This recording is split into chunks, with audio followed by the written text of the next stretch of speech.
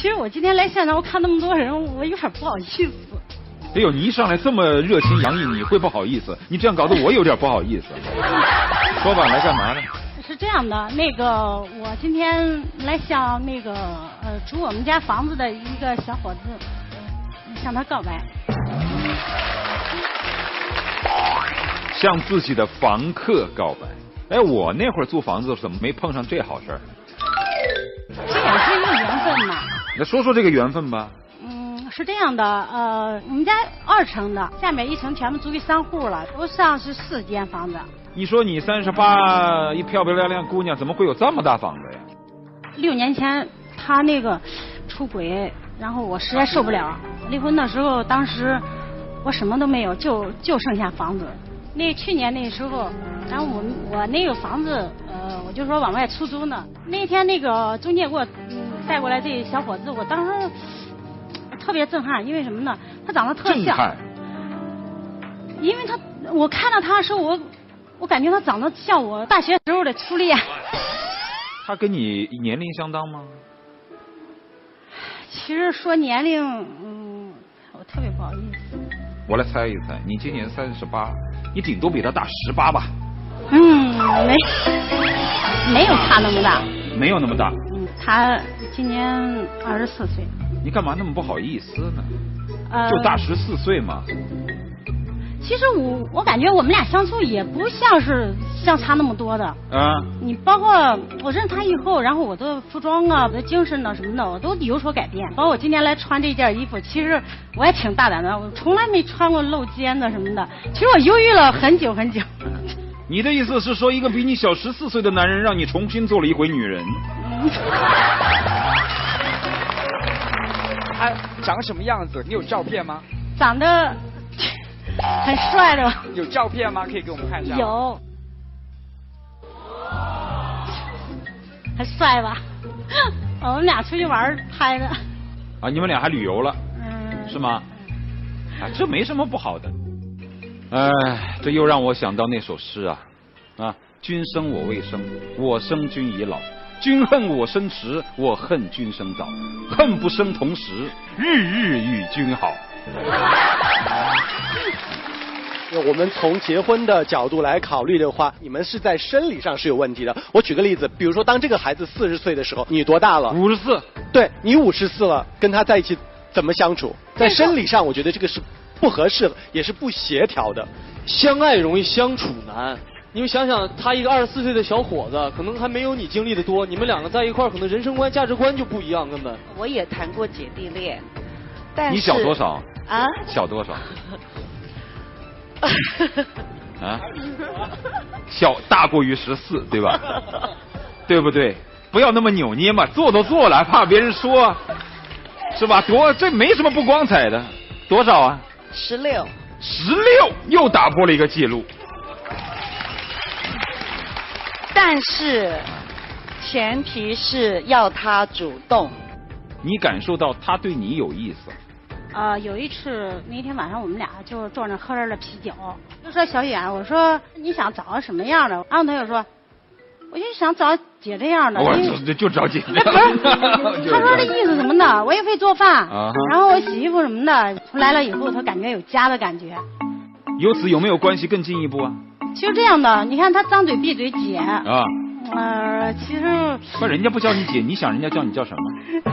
我感觉就像人们常说的一句话，啊说人的生命当中应该有一次说走就走的旅行，也应该有一次奋不顾身的爱情。嗯，说得好。既然他年龄小，肯我先喜欢他的，我想我想主动一点吧。你是真爱他，我完全能够看出来。但我也会想到，奋不顾身的爱情总是存在的，可是奋不顾身的婚姻往往是痛苦的。亲爱的，我们不要想那么远的事情，好不好？对。因为呢，即便你们是年龄相当、背景相当、什么都很相当，三五年就散的，多的是。人生苦短呐。但是你要小心了，一个比你小十四岁的男人，他能够接受你的爱吗？其实上，他用了一个计谋。他循循善诱，就是希望他能够从你那儿得到一些好处，但是呢，又不上这个套就把你吊着，他在吊你胃口，呃所以这个男人是很危险的。呃，不是不是不是，我感觉他能接受我对他的好，那就是证明他喜欢我。但其实我并不会认为他们是一个情侣的关系，我觉得很有可能是他认为你是一个大姐姐。不，我感觉你说不可能不可能，绝对不可能不可可能呢？难道你们两个真有牵手吗？牵手牵了吗？牵牵手有时间我牵他嘛，那你们俩有亲吻吗？有没有？这个没有，没有我们都是啊纯洁的，不不不，没有。就因为你们现在很纯洁，所以我觉得可能更多的感情是在姐姐和弟弟之间的关系，而不是情侣之间的关系。我还是那句话，长那么大没有穿过这样的衣服，他能让我改变，能让我的心已经死的一个女人，能重新燃起这种感觉，我感觉都值了。三十八岁的张丽因丈夫过错离婚，拥有多栋房产。离婚后，张丽一直单身，现在却因为租房，对比她小十四岁的房客杜鹏远一往情深。在张丽的叙述中，房客杜鹏远对她的追求和关心都有回应，却因身份和年龄的悬殊，无法对她大胆表白。所以，他今天鼓起勇气来到节目现场，向比自己小十四岁的房客告白。如果事实真如张宇猜测，杜鹏远会来到节目现场接受他大胆热情的告白吗？我们更多的人是希望他能够开心的更长久一点，不管他们之间彼此到底能不能走到婚姻的殿堂，至少不希望到分手的那一刻你也伤心，他也伤心。你觉得呢？嗯，来，站到开启告白之门的按键旁边。来，问你几个问题。小远要是今天不来，不愿意跟你挑明怎么办？嗯应不会吧？他很有可能不来呀。其实我我心里也特别忐忑。如果他今天来了，他说我从来没有爱过你，我只把你当姐姐，甚至是当母亲一般的温暖。不可能。如果是呢？第一，我感觉不会。如果是呢？我想问你，假假如说是这样的话，那只能怪我自己自作多情嘛。你会恨他吗？我不会恨他，你还会让他住在那儿吗？会。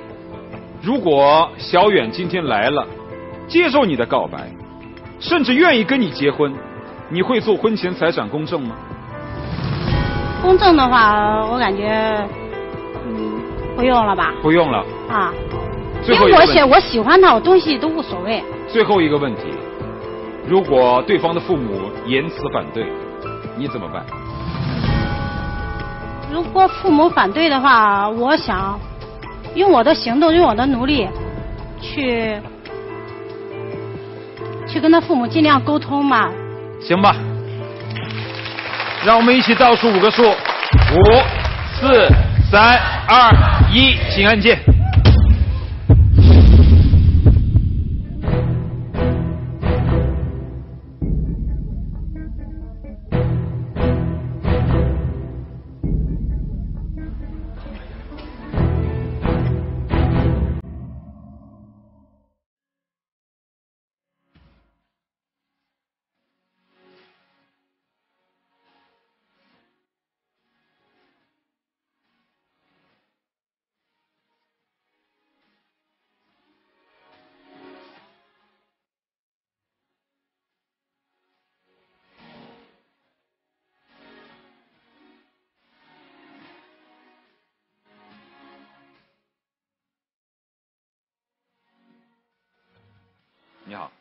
二少，来来来，你自己介绍一下自己。大家好，我叫杜鹏远，今年二十四岁。你以前谈过恋爱吗？当然有。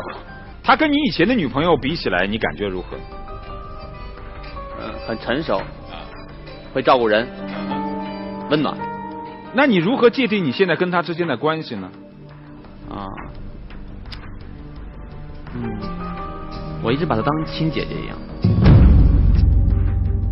你要注意，你说话必须言辞准确、恳切，因为这是一段奋不顾身的三十八岁女人的爱情。你到底与丽姐之间你界定的关系是什么样的男女关系？朋友，姐姐，你确定？确定？不是这样的，有朋友老是给你送礼物什么的吗？有朋友两个人一起穿情侣衫的吗？说心里话行吗？